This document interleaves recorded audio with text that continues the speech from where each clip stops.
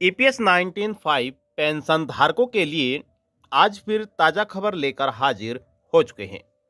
अगर आप भी ईपीएस 19.5 पेंशन लाभार्थी हैं या फिर आप ईपीएस 19.5 पेंशन के लिए अप्लाई करने जा रहे हैं, विकल्प चुनने जा रहे हैं तो यह जानकारी आपके लिए बहुत ही महत्वपूर्ण होने वाली है। इस वीडियो के माध्यम से हम आपको बताने वाले हैं कि ईपीएस 19.5 पेंशन चुनने के सबसे बड़े नुकसान कौन से हैं? साथ ही आपको बता दें कि ईपीएस 19.5 विकल्प चुनने की अंतिम तिथि को बढ़ाकर तीन मई 2023 कर दिया गया है। अब ईपीएस 19.5 पेंशन के कौन कौन से नुकसान आपको हो सकते हैं, उसके बारे में हम आपको यहाँ पर तमाम जानकारी देने वाले हैं। अगर आप एक पेंशन लाभार्थी हैं ई के कर्मचारी हैं तो इस वीडियो को आप अंत तक देखते रहेगा। और अगर आपने वीडियो को लाइक नहीं किया है तो कृपया वीडियो को लाइक कर दीजिए। ज़्यादा से ज़्यादा वीडियो को शेयर भी कर दीजिएगा। तो चलिए वीडियो को शुरू करते हैं। कौन कौन सी सुविधाएँ आपकी बंद हो जाएँगी, तमाम जानकारी आपको देते हैं। कर्मचारी भविष्य निधि संगठन, यानी कि ई पी एफ़ ओ ने कर्मचारी पेंशन योजना के अंतर्गत ज़्यादा पेंशन पाने का विकल्प के लिए जो डेडलाइन थी वह बढ़ा दी है। पहले इसकी अंतिम तिथि सरकार की तरफ़ से तीन मार्च निर्धारित की गई थी, जिसमें सभी एफएफओ कर्मचारियों को तीन मार्च तक E P S nineteen five का जो विकल्प था वह चुनना था। लेकिन साइट ओपन न होने की वजह से और काफ़ी कर्मचारी थे जो ये विकल्प नहीं चुन पा रहे थे पी एस नाइनटीन फाइव का। तो उसे अंतिम तिथि को बढ़ाकर अब सरकार की तरफ़ से तीन मई कर दिया गया है, जिसमें आसानी से आप विकल्प चुन सकते हैं। लेकिन विकल्प चुनने से पहले आपको जान लेना है कि क्या इस पेंशन के अंतर्गत आपको फ़ायदा मिलने वाला है और क्या आपको नुकसान होने वाला है। तो इसी के बारे में हम आपको इस वीडियो में बताने वाले हैं। आप बने रहेगा हमारे साथ, अंत तक देखते रहेगा। हालाँकि इस पेंशन में आपको, यानी कि E P nineteen five pension में आपको ज़्यादा पेंशन तो मिलेगी, लेकिन आपको काफ़ी ऐसे लाभ होंगे, यानी कि काफ़ी ऐसे लाभ हैं जो आपके बंद हो जाएँगे, आपको मिलना बंद हो जाएँगे।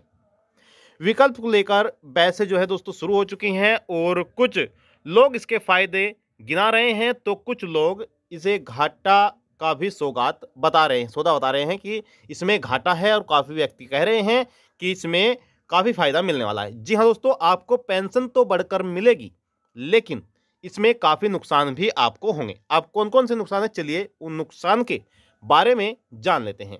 आपसे हमारा यही निवेदन रहता है कि कृपया आप वीडियो को लाइक कर दीजिए। देखिए, वीडियो लाइक करने का आपका एक भी रुपया नहीं कटता है। कृपया वीडियो को लाइक ज़रूर करिए, करिएगा। तो यहाँ पर आप जानते हैं कि आपको क्या नुकसान होगा। तो सबसे पहला जो यहाँ पर नुकसान होने वाला है, वह आपका पीएफ का होने वाला है। वह किस प्रकार से? तो आप यहाँ पर ध्यान दीजिएगा। देखिए, ईपीएस नाइनटीन फाइव के अंतर्गत बड़े नुकसान में पीएफ का नुकसान सबसे अहम है। आपको एक और रिटायरमेंट के बाद पेंशन कुछ ज़्यादा मिलेगी। यानी कि अगर आप ई पी फाइव का विकल्प चुनते हैं तो आपको ज़्यादा पेंशन तो मिलेगी, लेकिन जो पीएफ है, पीएफ का आपको नुकसान हो जाएगा। देखिए, यहाँ पर बताया गया है कि एक मुश्त मिलने वाली पीएफ की रकम कम हो जाएगी। ठीक है? एक मुश्त जो आपको पीएफ वाली रकम मिलती थी, वह कम हो जाएगी और दूसरा नुकसान यहाँ पर यह है कि पीएफ में कर्मचारियों को जो चक्रवृद्धि ब्याज का फ़ायदा मिलता है, वह अब चूँकि पीएम पीएफ का हिस्सा एफ़ ईपीएफओ में जाएगा, वह आप जानते हैं तो यहाँ पर जो दोस्तों, जो आपकी पेंशन यहाँ पर बढ़ाई जा रही है, वह आपके पैसे की ही आपको बढ़कर मिलने वाली है, न कि आपकी कंपनी आपको देगी, न सरकार इसमें कोई अधिक पैसा देने वाली है, ठीक है? जो भी पेंशन अधिक मिलेगी, वह आपके पैसे से ही बढ़ाई जाएगी। तो यहाँ पर बताया गया है कि पीएफ का हिस्सा ईपीएस में जाएगा तो चक्रवर्ती का ब्याज भी कम हो जाएगा। वहीं ईपीएस नाइनटीन फाइव के ये भी नुकसान हैं। अब कौन कौन से नुकसान है और यह आप यहाँ पर जान लीजिए। देखिए ई पी नाइनटीन फाइव को चुनने का एक और बड़ा नुकसान है कि आप जल्दी रिटायर इसमें नहीं होंगे। जल्दी आपको यहाँ पर रिटायरमेंट नहीं मिलेगा और इसका लाभ सिर्फ़ उन्हीं लोगों को मिलता है जो अट्ठावन साल की उम्र तक काम करते हैं। यानी कि अगर आप इसमें अट्ठावन वर्ष की उम्र तक काम करेंगे तो ही आपको आगे पेंशन मिलेगी या फिर आप दस साल तक इसमें काम लगातार कर रहे हैं।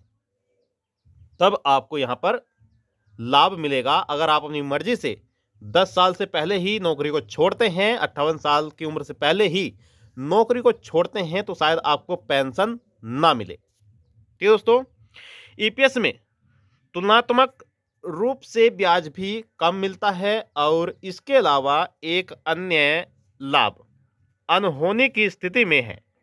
अगर आपके पास कोई अनहोनी हो जाती है तो ईपीएफ की सारी रकम आपके नॉमनी का, आपके नॉमनी को मिल जाती है। वहीं ईपीएस के मामले में नॉमनी को आधी पेंशन का हिस्सा ही मिलता है।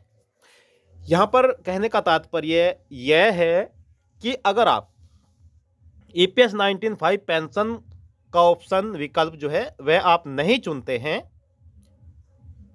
तो जो कर्मचारी की रकम होती है, वह उनके नॉमनी को दे दी जाती है, पूरी रकम दे दी जाती है। लेकिन जो ईपीएस में यहाँ पर विकल्प चुनते हैं ईपीएस नाइनटीन फाइव का पेंशन लेते हैं तो यहाँ पर उन्हें पूरी रकम नहीं दी जाएगी, बल्कि नॉमनी को आधी पेंशन का ही लाभ दिया जाएगा। अब आप पर निर्भर करता है कि आप E P S five pension को चुनते हैं या फिर नहीं चुनते हैं।